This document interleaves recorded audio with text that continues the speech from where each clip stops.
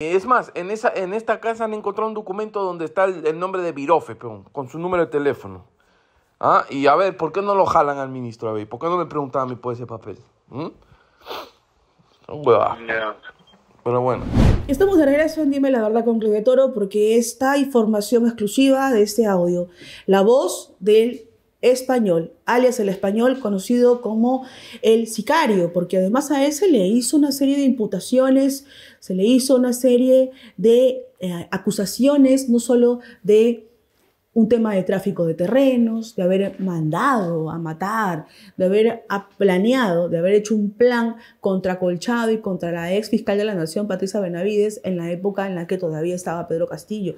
Y cuando cae Pedro Castillo y asume Dina Boluarte y seguían las investigaciones y salía sacando todo este fango del pozo, porque en eso convirtió Pedro Castillo la investidura presidencial, en un pozo lleno de fango, de animales, de bichos rastreros. Entonces, cuando se seguía sacando elementos de este pozo fangoso, en ese momento sale la denuncia y dicen que Alex el español Jorge Hernández, que ya era colaborador eficaz, estaba tramando un plan contra la víctima Colchado. Y ahí sí, como a los caviares les encanta Colchado, como a los comunistas también, algunos que ahora lo alaban y lo elevan, los socialistas, entonces Colchado era la víctima, Colchado acá, Colchado por allá, Colchado aliado de la fiscal valiente Patricia Benavides, hasta que esa relación se rompió.